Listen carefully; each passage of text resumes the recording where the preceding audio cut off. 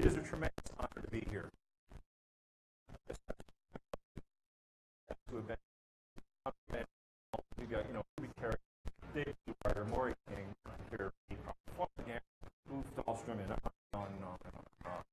Uh, the organizing committee for me here. Uh, this is going to be a fun presentation, I promise. Talking points. What am I going to talk about? Well, the first thing I want to I want to show you is what is probably one of the single most important advancements in the research of alternative energies that has yet been presented here at the show. I'll give you the free energy device. have, have any of you seen this on YouTube? Yep. Okay. it, I've seen it on YouTube. It, it spins. It has to work. But mine doesn't work. So if somebody can help me help me figure this out, something like.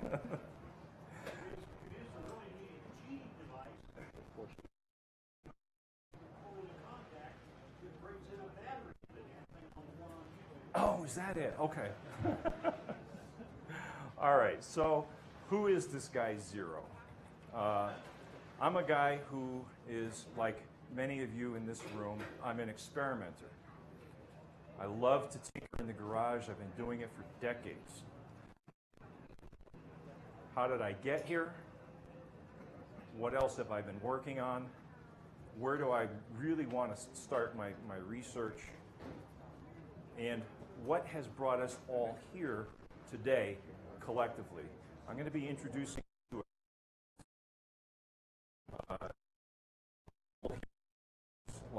Regina Meredith and uh, Francesco Vassa fully understand. And I hope to be able to articulate it to you in such a way that help you to wrap your heads around why we are all here today. All right. Uh, I am here today basically because I wanted to have a few drinks with Mark Dansie. But he had better things to do, like uh, improve the quality of life for millions in impoverished nations. So, you know, where where is his priorities? I, I, I, I so let's start at the let's start at the beginning. Why zero fossil fuel? I don't know. I'm I'm so sorry about that. I, uh, I, I, came up with the name zero fossil fuel in an attempt to articulate a, an idea that we need to move away from energy independence is bought and we have to pay for. Okay, we need to move away from a based economy to a renewable based economy, and quite frankly, zero fossil fuel was one of the few names on YouTube that wasn't taken. So I, I, I, chose zero fossil fuel, and eventually I started a whole branding effort around it, and I became known as, uh, as Zero and as Z, and I maintained my anonymity for a very long time. So why was I so anonymous? Because I was afraid of the boogeyman. Uh, there is a whole culture of fear that we need to break free from. Okay, we all need to take a stand, build a little courage, and say, if there are enough of us with our experiments and present what it is we are working on, they can't stop all of us. We all have to work together, and that's why we're all here. Okay? Some of us are here just to uh, listen to people talk. But many of you are experimenters, and if you are experimenters, I encourage you to publish your work, even if you don't think it is of value. Because there are, there are things that I have published many, many years ago that now, today, I will go back and look at and say, gee, you know, I didn't notice that in that video the first time. But I go back and look at it and say, wow, I missed that. Moray, I've got something for you that you're going to like. Okay? Uh, other identities Mr. Wizard, MacGyver. I've been called a lot of things, uh, some of which I can't say here today. But uh, it all started when I was a very young child. Uh, when I was about three years old, my memories go back that far, amazingly.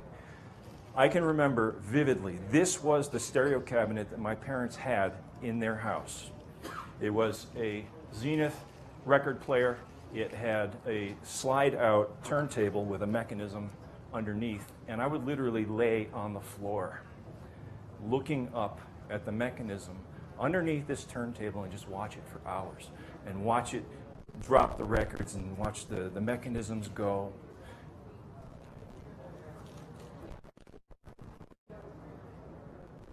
And then from, from the stair rails behind the radio that went up to the second floor, I would, I would take my head and I would plant it between, between the rails of the staircase and I would sit there for hours and just watch the tubes glow and say, what makes this thing work?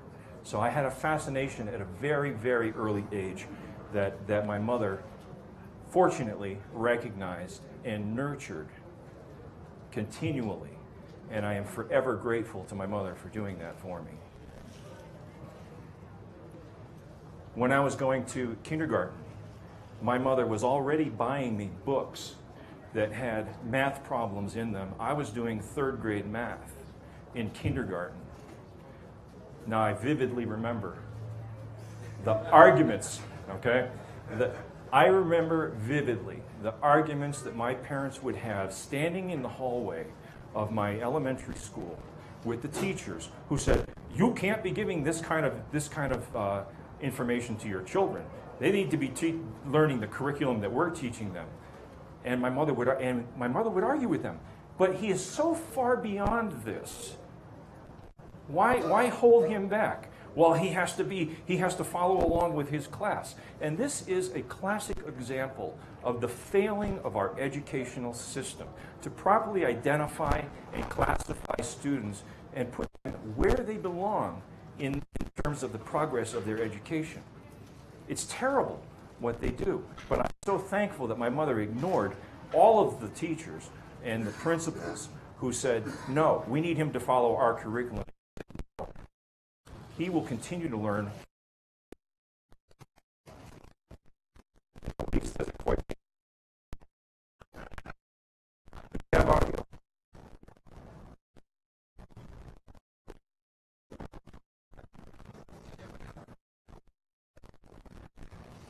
Are they getting it? Audio.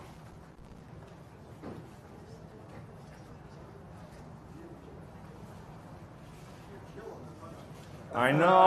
I'm sorry. Are they trying?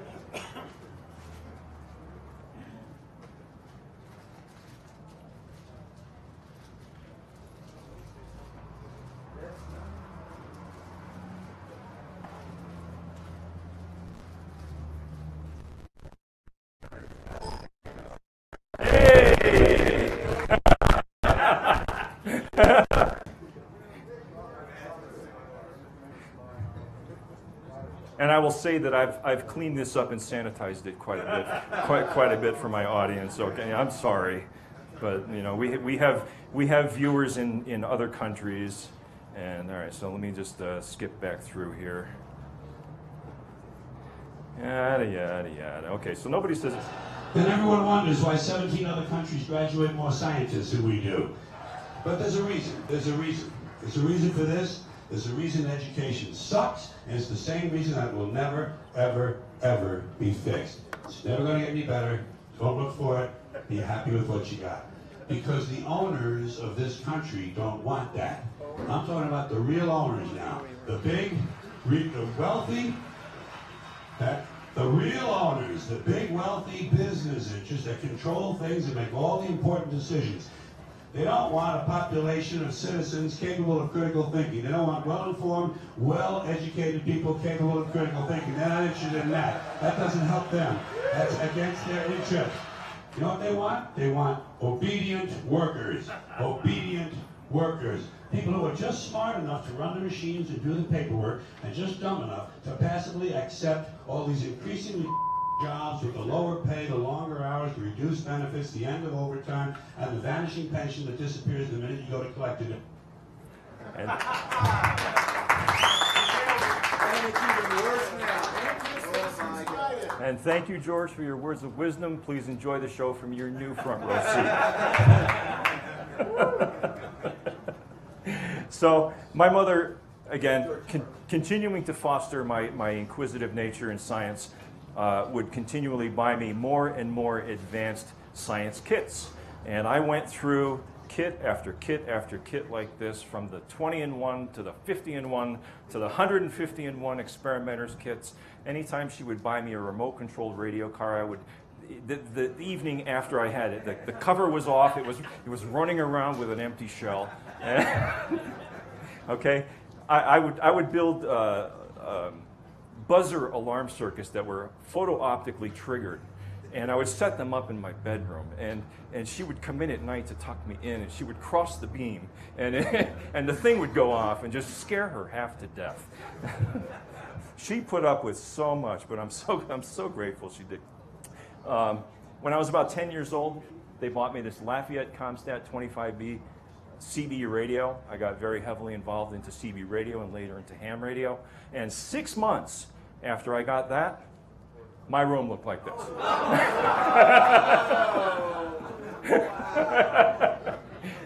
no, no, no, I'm just kidding. That's John Hutchison's uh, kitchen.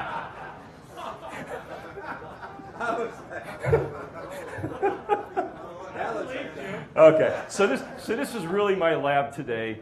Uh, I have the uh, Muller replication on, my, on the bench and the oscilloscope showing the waveform, uh, the Matrix screensaver, my favorite movie of all time, a few pieces of test equipment. But this is the, uh, this is the workshop that I built the winter before last that has given me a place to work and uh, to experiment. So naturally, my mother fostered in me a love of learning. And one of the greatest things that we can do as parents is to pass that love of learning and a thirst for knowledge onto our children. I have two daughters, both of whom have graduated Western Connecticut State University cum laude, full scholarship. They were reading literally to their classmates in preschool. Okay? I made sure that we had a traditional family. My wife stayed at home. I worked two jobs. She raised the children at home. I came home at night. Uh, we in, in, inculcated into our children a passion, a passion for learning. And there's no greater gift that we, that as a parent we can give to our children than a love of learning. Okay? Uh, both of them graduated cum laude. My youngest daughter is uh, completing her master's in fine arts at Johnson State University in Vermont. My, uh, my oldest is going for her uh, bachelor's degree in nursing, and uh, I am immensely proud of my children. Thank you. Thank you. Um, so, as I said earlier, uh, I, was, I was hired directly out of high school into, as a technician for a company that a next door neighbor worked for who recognized the talent that I had, and my parents never could afford to send me to college. So I, I got all of my job training on the job, and I became what is, what is traditionally known as a practical non-degreed engineer. Uh, I have worked for uh, companies such as uh, Electromechanics, which was a division of combustion engineering. They manufactured nuclear power plants and system controls for the nuclear power plants. I was an engineering technician for them. I was a uh, engineering tech for a robotics firm. Did uh, some robotics work for several years. And after that, uh, I, I had a, uh, a failed business venture in uh, car phone sales. I lost my house over it. We uh, moved into a condo.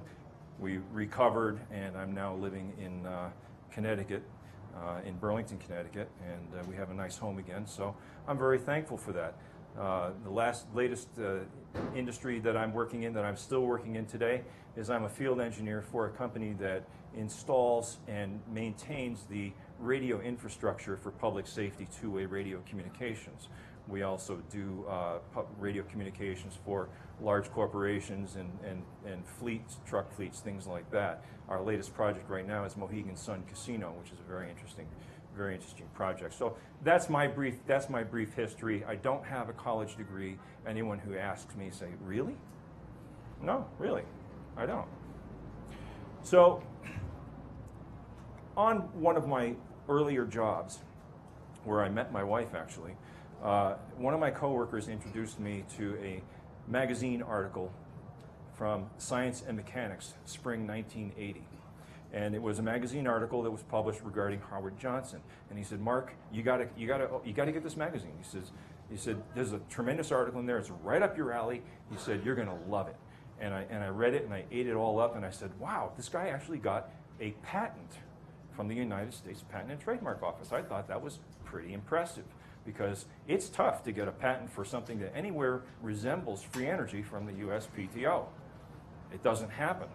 And uh, this goofy guy right here, he did it. So uh, I, I not only uh, bought the bought the magazine, I spent quite a bit of money building devices to try and replicate his his invention. And uh, let's see here. Here's the here's the magazine article. Now, I was very concerned at that time, even back then, that this type of technology, if it did work, would be suppressed. So at that time, in 1979, no, no, I'm sorry, 1997, I put up a website and I archived all of the information and left it as open source to the public because the patent had long since expired and the magazine publisher had long since gone out of business. And uh, I wrote letters to the legal firm to make sure that I was covered, that I wouldn't get sued for, for copyright infringement. And I published all of this information online free of charge so that anyone could access it and reference it and hopefully succeed where I did not. Here's a copy of the actual, of the actual patent. Um, one of the things that people will, will do when they replicate these, these motors or attempt to replicate them is they'll create one of these curved magnets. And that's fine. And I think you'll find that every attempt at a motor, uh, Howard Johnson motor replication only has one horseshoe magnet. And the reason for that is because it's really hard to make these things. Nobody ever made a motor with two. And quite frankly, the reason given in the, in the magazine article for using two magnets was to decrease the amount of pulsing as the magnet traveled across the track. I don't think that's the reason at all. And I think that may have been the reason why all of us failed. I don't know. But I still hope, hold hope that maybe this thing could actually work if somebody built one with two magnets staggered across the stator. It's food for thought. And that's part of what I do. When I publish my information on YouTube, I try to teach and I do my best to inspire others to build. This is an animation of how I felt the motor should be built and a representation of the magnetic fields as they impose on the rotor. After I tried and failed for many years to replicate this motor, I, uh, I went into a very long period of inactivity. I became very stale. And uh, during that time, other people tried to replicate it. Who can forget Milo? Anybody? I hear a chuckle. but notice, okay? Even Milo, one curved magnet. Could he have made it work with two? I don't know. And then one day I saw this. Does anybody know what this is? That's correct. That's the first uh, Steorn device that was uh, shown on YouTube. And then I saw this.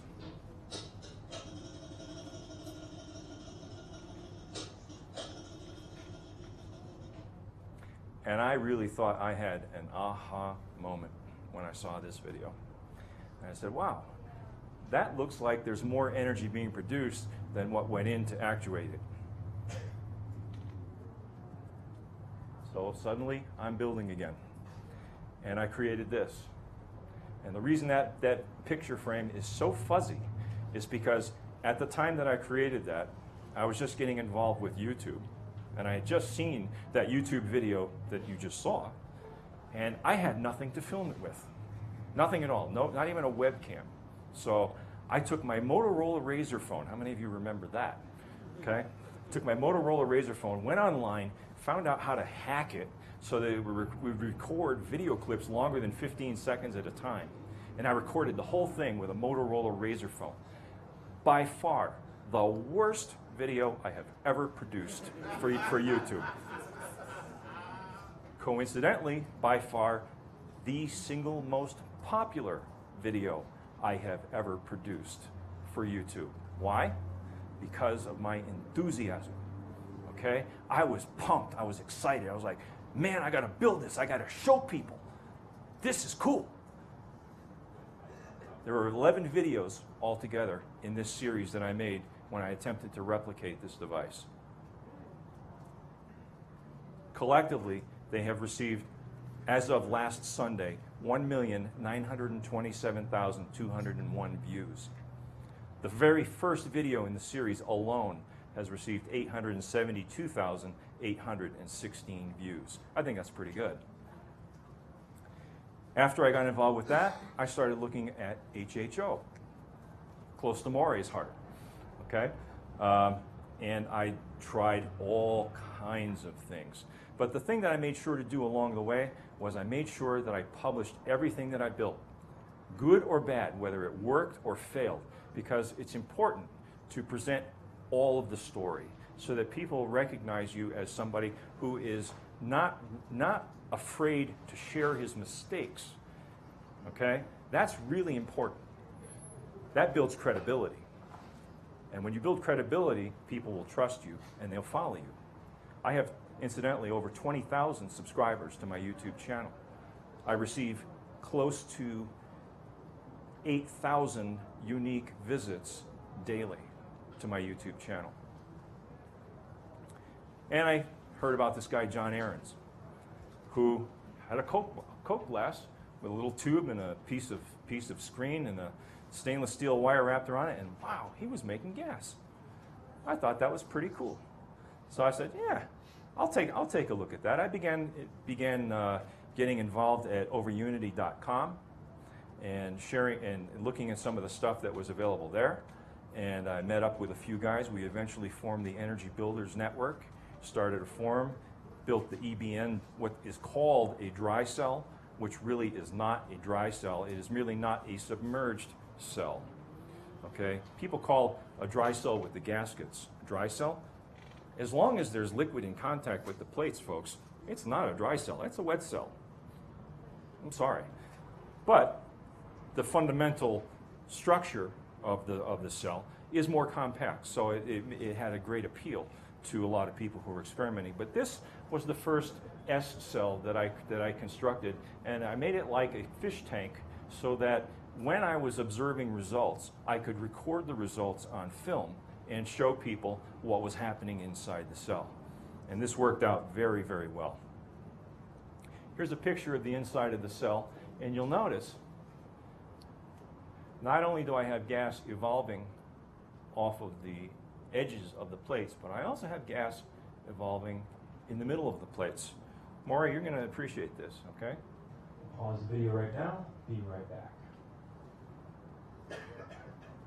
All right, I've added uh, another small amount of, with uh, this cut straw, a small amount of sodium hydroxide to the solution. Stirred it in, allowed it to circulate, and the current at the, at the same voltage I had before immediately shot up to about 1.6 amps. So I backed the voltage down. I am now running at, uh, let's see, we'll 90, uh, probably about 100 volts.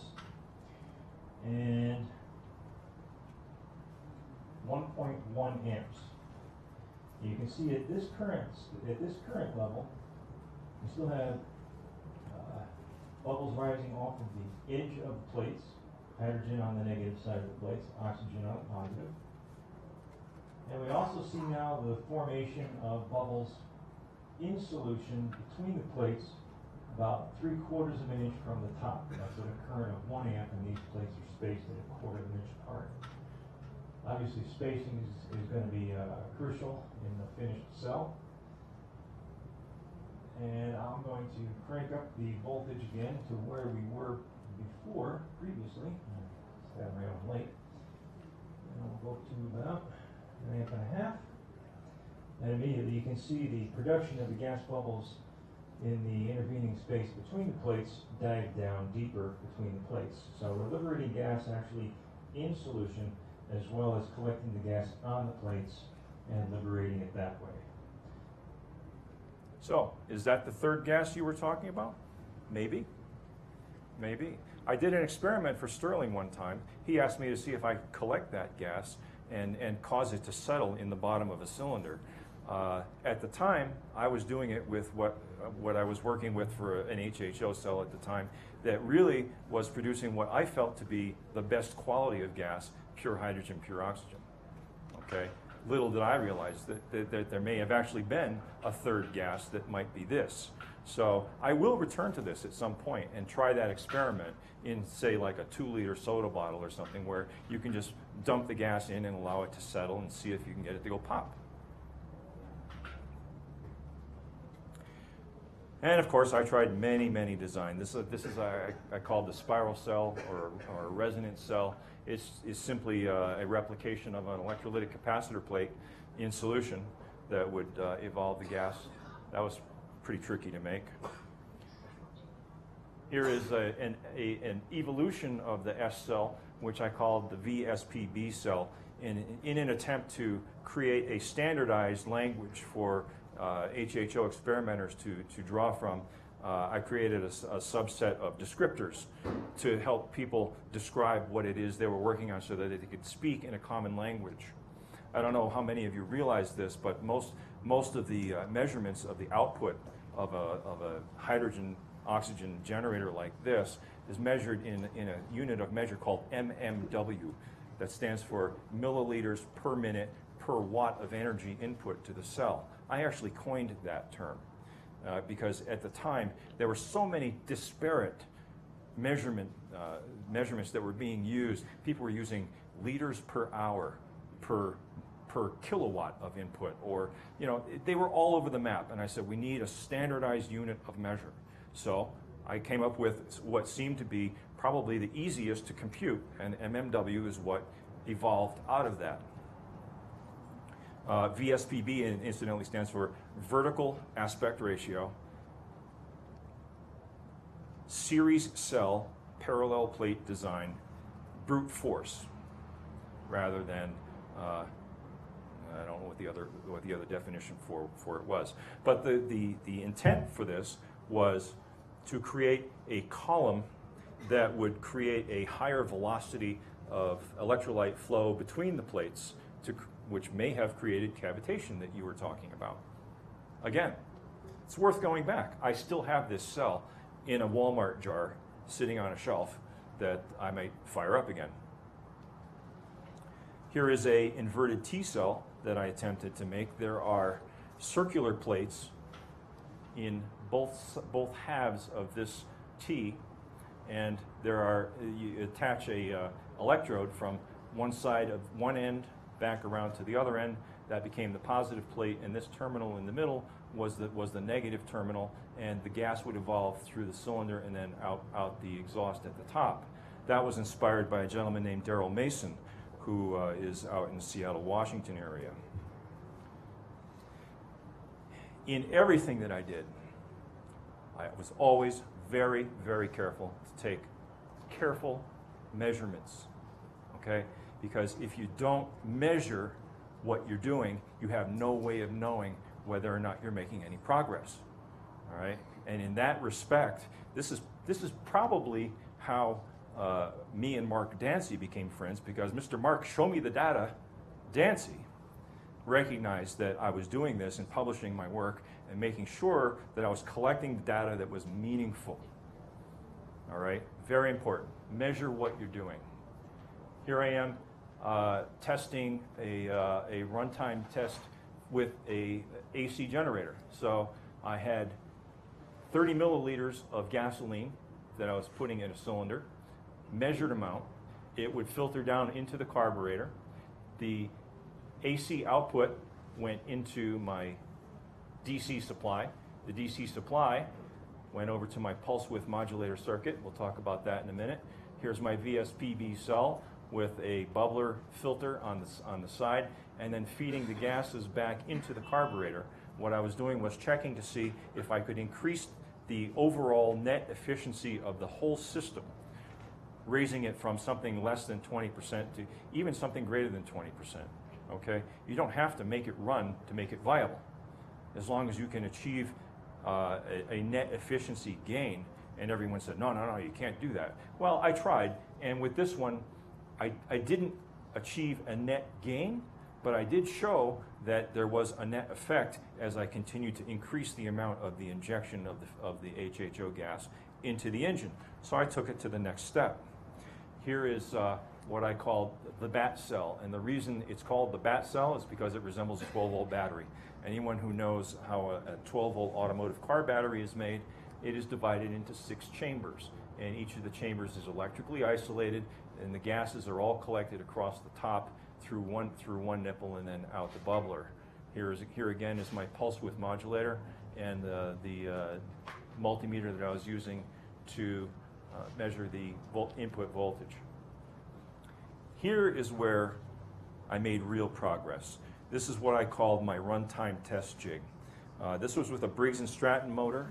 It was powering a automotive alternator that was the only DC source for the pulse width modulator, which is down here in the shadows. You can't see it. And it was running my uh, bat cell at about 6 mmW efficiency and going through this bubbler and back into the engine.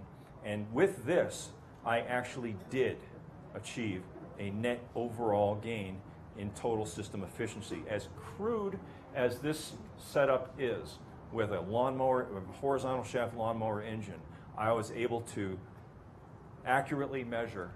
Uh, and incidentally, this right here, this was my fuel reservoir. I would put measured amounts of fuel and run tests with these measured amounts of fuel each time. And I did like, uh, the first time I did it, I, I, I repeated the test about 10 times and found that I had a margin of error of plus or minus 3%. I was like, hmm, that's pretty good. I probably don't need to repeat the test 10 times every time I do it because you'll also notice it's dark out. I was working late into the night and I was probably bothering my neighbors while I was, while I was doing that. But I collected the data and I published the data and that data is still available at my website, alt-nrg.org. Um, it's viable data and it is, not, it is not refutable, at least not in my mind. You know, somebody can always uh, approach you and say, well, gee, we don't think you collected your data correctly. Well, that's a matter of interpretation. For myself, I was able to satisfy myself that yes, HHO is a viable technology. It can be used to increase the overall net efficiency. It is a losing game if you're trying to do it in a modern automobile because the electronics of the modern automobile will fight you every step of the way and it will not allow you to, uh, to go much further. So through all of this, what did I learn? I learned that I could teach. I learned that I had a very good talent to be able to teach other people, to publish and to share openly. Now, if I could only regenerate that head of hair, I'd be so happy. I would be so happy. Okay? But what do we get when we teach other people and inspire them? We get guys like this. Okay? Who build amazing things like this and like that and this Stirling engine, a Bedini wheel, a Rodin coil, Starship coil, an Infinity motor, which of course didn't work, but all these tools are learning tools, a wire straightener out of scrap, a toroid coil winder, which he also has on display here. If you haven't seen it, boy, you got to see this thing. This the, it is just the coolest thing. Here is his EPG. Here's the pulse fire circuit, which is controlled by an Arduino, which incidentally is the same processor that I'm using for my Muller motor demonstration that's also on display. Here is his voltage intensifier circuit that he made. His hydrogen gas gun to condition the hydrogen gas as it passes through the center. There it is with the LEDs illuminated. His 3D printer, which he also brought here. Coolest damn thing I've ever seen. And of course, his own pulse motor build off entries, which is his contest that he uh, enters himself to make everybody feel bad. but, the, but this is just brilliant stuff. I mean, the, the, the workmanship that goes, he is a, an amazing, amazing builder. Russ, are you in the room today? I saw, I saw him. Oh, he's outside? Okay. I don't even know what this is. I don't even want to, I, I don't, I, I don't want to guess. and, uh, Was that, could that have been a, s- not one of those injection water spark things? Uh, he, he calls he calls this uh, the burnometer. Does anybody, yeah. Does anybody know what he does with that? I don't. I don't know. Similar to a Papp engine. That's what he's doing. Uh, okay. Well, this is the Papp engine, and he brought that with him here today too. Really amazing stuff. He, he has amazing skill with a milling machine. He know he knows his he knows his way around it. Uh,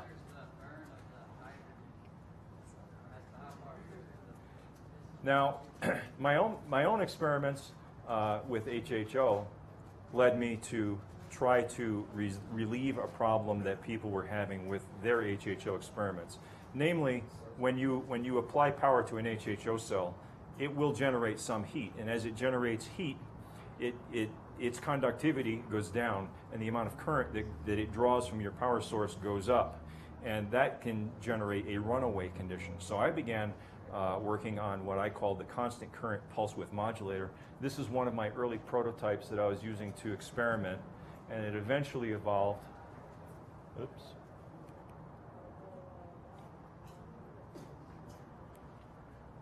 It eventually evolved into a finished product that looked like this.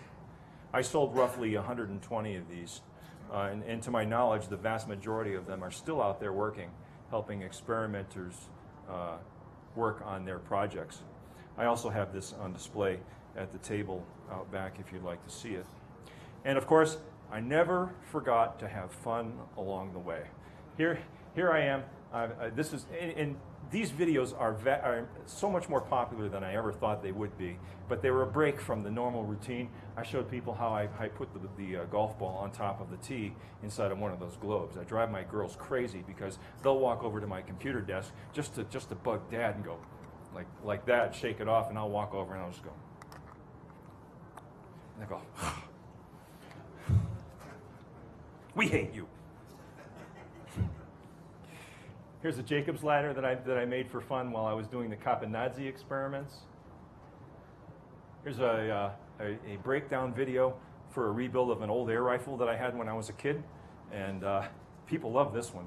I mean, especially with all the uh, legislation that's coming out in, in, in opposition to firearms and, and, things like that. But this, this was a fun video to make. It's about 35 minutes long and uh, gets an amazing amount of, amount of traffic. There's a uh, recumbent bicycle that I made that was inspired by uh, a, uh, a, gentleman from uh, Belgium. Uh, forget what I forget what his YouTube channel name is, but this this is still a work in progress because this space right here, I now have three 12-volt batteries, and right about here, I've got a motor controller and a little electric motor on the back swing arm, and I'm making this a hybrid recumbent bicycle it's a blast to drive. I'll tell you, people people look at you going down the road, and I'm sorry. How fast will it go? Uh, I haven't taken it down the hill behind my house yet, uh, but I can tell you it is very aerodynamic and it is very easy to pedal uh, beyond 35 miles per hour. I've had it, I think, up to about 38 miles per hour on human power. I think it will do about 45 miles per hour and that's enough even to keep up with traffic on, on a normal street. So, you know, a lot, lot of fun. And then, of course,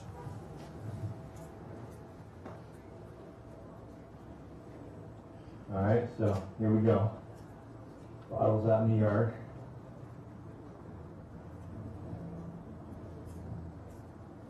Fire in the hole.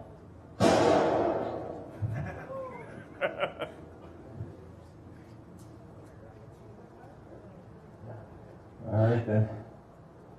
Here's what we got. There's a bottle, what's left of it.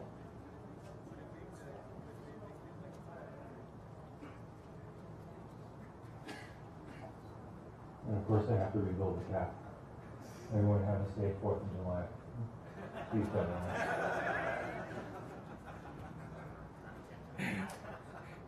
And I didn't bother to film the 1.75 liter plastic plastic handles that I was setting off in the yard as well.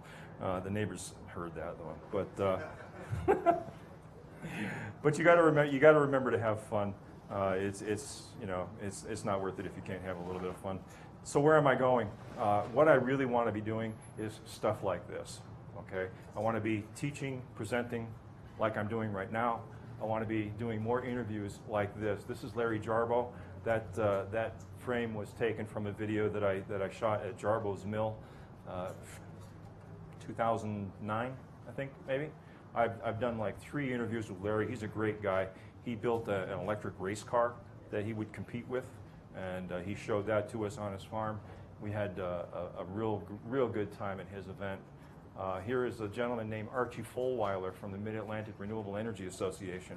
He's an old oil man who, who left the industry and started getting into uh, permaculture and renewable energies. And he, he created a whole business model around community solar and made it a viable business model in today's economy. Uh, real, real fun interview I had with him. This is Franz von. Solar? I beg your pardon? Community what? Solar. Yeah, Yeah. This is an interview I did with Franz von Holzhausen at the Tesla Model S debut party in New York City, which I was invited to. That was a lot of fun. Uh, I found out that uh, Franz was a fellow Connecticut native from Sim- Simsbury, Connecticut. And uh, we had a real great interview. Uh, oh, that's not the one. And then, of course, my latest interview was with Eric Dollard at the uh, Bedini Lindemann conference in Hayden, Idaho. Uh, that was a little bit of a disappointing interview. I would have liked to had some a little bit more enthusiasm from Eric. He's still very bitter over the uh, hurdles that he's had to overcome. Brilliant man, brilliant man, and he has inspired quite uh, quite a bit of uh, um, creativity. I want to say in my own self that I hope to be able to tap. This is the Muller motor in its most complete state before I started tearing it down uh, uh, to, to what you see on the table behind the hotel today. Um, is assembled with nine sets of coils all the way around, two of which are driven that spin the rotor, and then the remaining seven coils were acting as pickup units in a generator fashion. You see the, the uh, pickup wires going around with full wave bridge rectifiers all connected together. Uh, I managed to get about 60% efficiency out of this motor altogether. Never achieved the over unity that Bill Muller claimed for it, but it was a learning tool, and it is still a learning tool. I use it. I use it now to test various uh, coil configurations. I have on display conical shaped coils, hemispherical shaped coils, pancake shaped coils, and by far the pancake coils seem to be working the best. Here's a close up of the driver circuit that, that I assembled for that. All of it is uh, just on perf board. And then I did something completely out of the box. I decided to go. Uh, some, someone, one of my, one of my YouTube nerd herd, and I and I affectionately call him my my nerd herd because, oftentimes on UStream, I will broadcast live from my workshop. I've got probably four or five webcams set up all over the all over the uh, workshop, different angles uh, for what uh, what that would focus on what I'm working. I have a uh, over the bench view, I have a over the shoulder view, um, and typically on an evening when I'm broadcasting live, working on a project in the lab, I'll have 15, 20, 25 people in my chat room, all just sharing, just chatting amongst one another, sharing, exchanging ideas. And one of one of my uh, one of my nerd herds suggested, you know, see, you should build a uh, you should build a rocket stove. And I said, why? Oh, it's really efficient. You should look into it. So I looked into it and I thought, wow, that, that's pretty cool. That, that would be nice to heat my shop. And I came up with a design that, in, that incorporated uh, basically two different types of designs that was either all fire brick or all steel. And I made a hybrid. I said, all right, let's, let's build a, uh, a rocket stove that, that merged both of these designs into one. And this has performed fabulously. The fire brick has held up for two seasons, absolutely no degradation whatsoever. I heat my lab all winter long, and it, I, I tear down roughly six broken down shipping pallets of wood is all I need to heat my, to heat my shop for an entire season. Think about that. It consumes one tenth the amount of wood as a traditional wood stove. It doesn't even require a vertical flue for the exhaust gases to leave the building.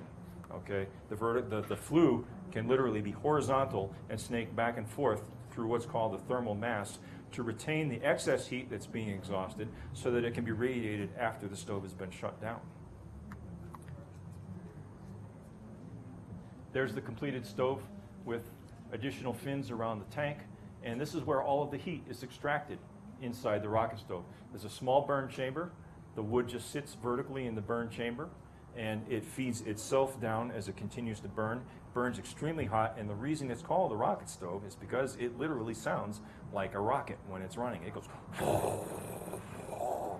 It's it's wild. It's it's fun to burn, and uh, my wife actually wants me to build one now for the house, and. Uh,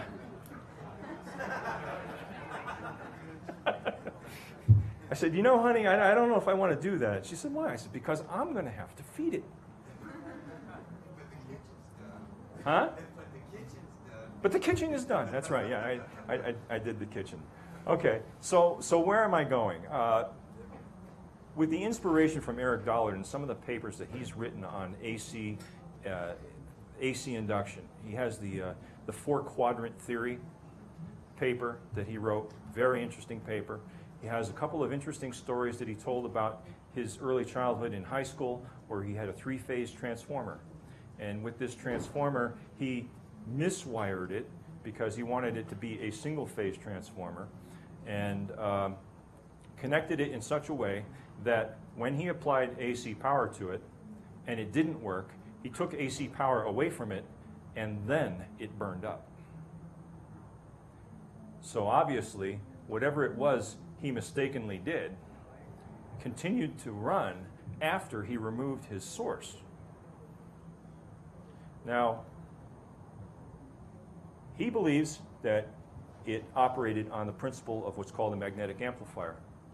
And a magnetic amplifier is a nothing more than a transformer that has a DC biasing coil on it that when you apply a, a, a, straight DC bias to the coil, you end up saturating the core so that when you apply an AC signal to any of the other coils, that core will saturate and operate in a non-linear mode. And when it does that, it, actually, it can actually be used as a amplifier of current. Okay, very significant, very significant. This was the very first audio amplifier. It wasn't a transistorized device. It wasn't a vacuum tube device. It was a magnetic amplifier.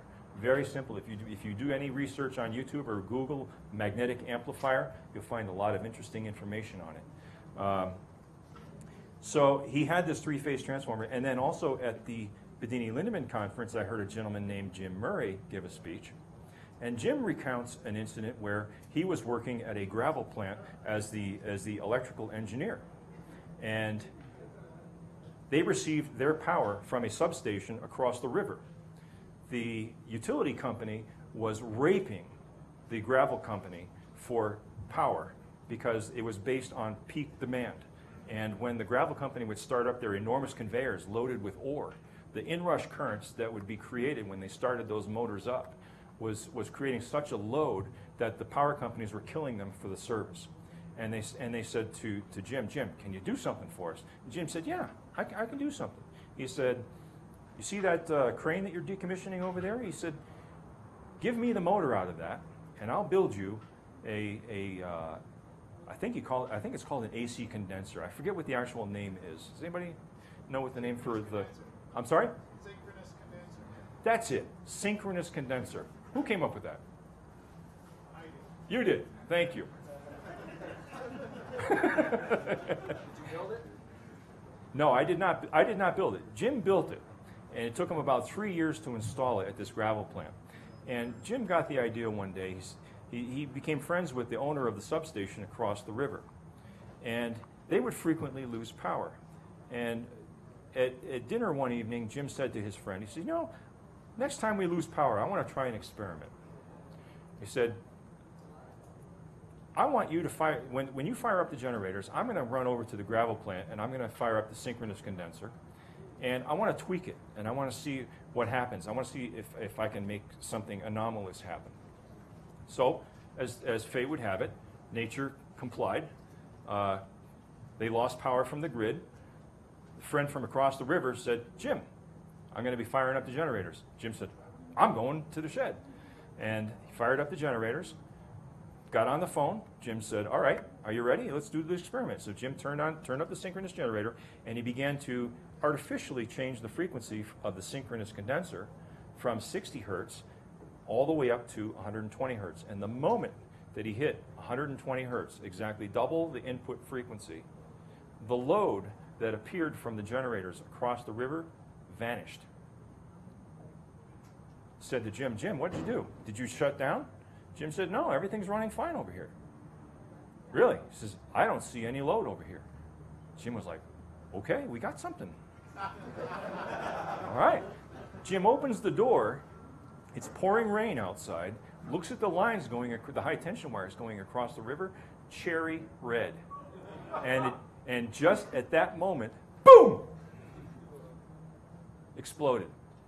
Now, being the good engineer that he was, he called up the owner of the gravel plant and said, geez, you know, guys, we lost power. Uh, you, better get, you better get somebody out here real quick. You know, I, I don't know what happened. okay? But there's a common thread. There's a common thread in both of these stories that I think is worth investigating. So here's the core of a typical three-phase transformer. Here are the coils on a typical three-phase transformer. These coils are divided into two halves, input and output. I haven't shown it here, but each one of these has two coils in it, a primary and a secondary. And the primaries and secondaries are connected in either delta delta, delta Y, or YY configurations. Delta Y, incidentally, is by far the most, most common. I don't know what Eric did, but I'm going to find out. So in a typical, in a typical three-phase transformer, if this coil is energized, it is inducing currents into these two coils. If number two is energized, it is inducing voltages into the two outer coils. And of course, if number three is energized, it induces voltages into the previous two. And it di- didn't render correctly in this PowerPoint presentation, but they actually traveled, of course, through the core this way. All right? At the University of Ottawa, this gentleman built what he called the bitoroid transformer. We have 10 minutes. Okay. I'm going to I'm to I'm to race through this a little bit and then I'm going to take a couple of questions from the audience. So essentially what became of the bitoroid transformer is we added another path for the magnetic flow. So instead of traveling to here and to here, you also had a third path coming around here. The problem with this design is still thinking two-dimensionally. Okay, if you were to take this whole assembly and turn it on its end, you still have a two-dimensional device. All right? Why not make it a three-dimensional core? And then you have equal distribution of your flux patterns to all the coils. This is what this is what I will probably be the next project in my lab. And you can expand on this and continue to build out. Now, one of the things that Eric Dollard speaks of when he talks about electromagnetic induction, All right. He also makes reference to the dielectric field, which is at right angles to the electromagnetic field. Now think of each, think of each of these coils as a fountain, and you're looking at the top of the fountain, and the electromagnetic fields are flowing up through the core, out, and back around through to each core. Therefore, if you have electrostatic lines of force, they are at right angles to the electromagnetic lines of force. All right? And you have these electrostatic fields around each of the coils. Okay? And in reality, those electrostatic fields extend out to the edges of the electromagnetic fields, which are passing through the adjacent coils. And they overlap. Okay? Does anybody see a familiar pattern developing here?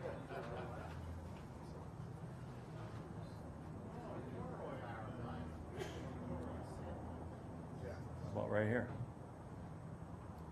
Might there be some inspiration there? I don't know. I'm going to find out. I'm going to play. But as I was making this presentation, I noticed that just as I was making the presentation, I was like, wow, that's pretty cool. Hmm, maybe that's worth looking at. Okay? What really brought us here today is a desire. Oh, yeah, this, this gets into the collective consciousness. Um, I'll touch on that real quickly. Um, what brought us here today is the collective.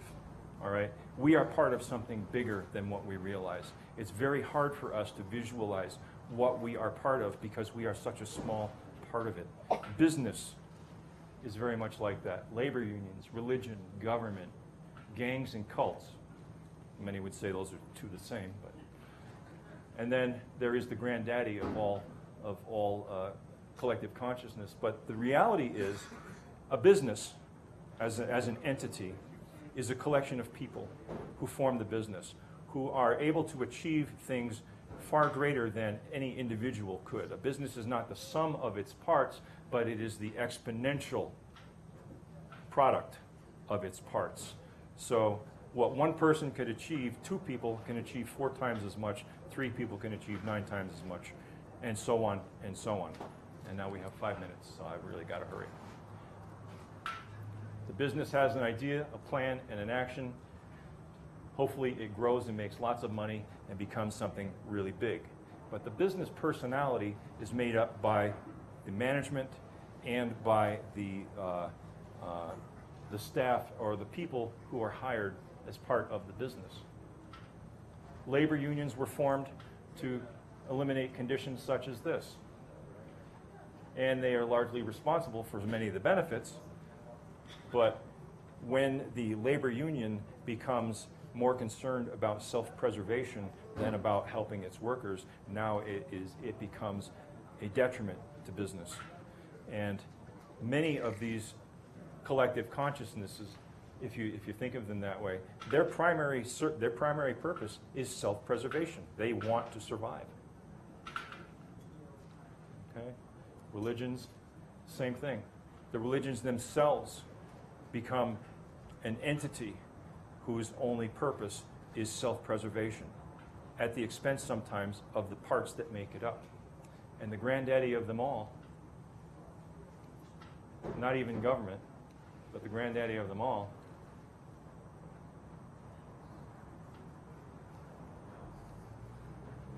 is the economy. The last time you went to the polls to vote for a president, what was the first thing on your mind? And the moment you begin to think in terms of, I'm voting based on the economy, you become part of that whole global consciousness that is the economy. Because you're making decisions in your daily lives that affect the economy, that affect how, how the economy affects you. Oops, wrong way. The economy has arteries. It is so evolved, it has veins. It even has capillaries. It has red blood cells that carry the hemoglobins, which are you and I, that bring the oxygen to the economic engine that make it run. And it even has a pulse. Thump, thump. Thump, thump. Thump, thump. Thump, thump. Thump, thump. It really is alive. So, do we destroy the beast? I think that would be shooting ourselves in the foot. But we certainly need to tame the beast. How? Exactly. Okay? We need to tame the beast. How do we do that? We're here. We're part of the solution. We're becoming white blood cells. We're going to fight the infection that is making the body sick. And we are part of the solution. We are the change agents for the entire world. And we are the global breakthrough energy movement. Okay?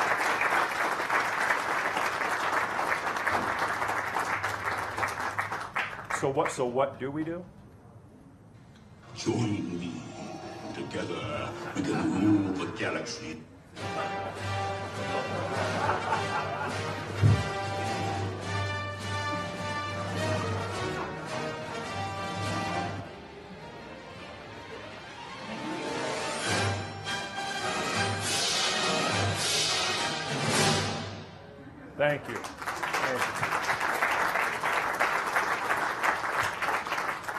Incidentally, one, one parting thought, I want everybody to know that all of this presentation was created with open source software on the Ubuntu Linux operating system using LibreOffice. Yay!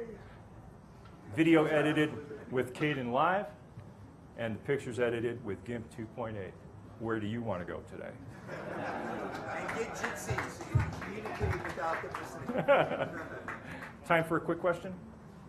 Uh, We can do uh, questions and answers at the panel. Okay, tonight. please save, save the questions for the panel tonight. Thank you all. Uh, coming up is Russ Gries. I hope you stick around. He is awesome.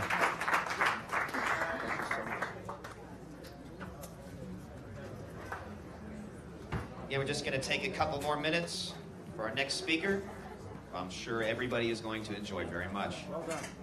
Very good. Thank you. Really well done, sir. Bring it, Z. I forgot to put your joke in there. Damn it. Excuse me, can I just ask you something? I was I was a couple of minutes late Uh huh. for the start of this, and you were talking about a device which looked like a little motor of some sort. Where did that originate from? This nice? No, it wasn't that. It was Oh. it was a little flat motor. You said, it sounds as if you said Steorn. I'm sorry, I, I don't Still, recall. I've, I've got to get back here You've got, you've got give nothing to do with Steorn. Okay.